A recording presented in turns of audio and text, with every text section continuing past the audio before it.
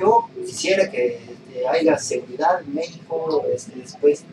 después en estos, o sea, a partir de, este, de tiempo, porque como está, está muy, muy mal, pero que haya seguridad y todo eso.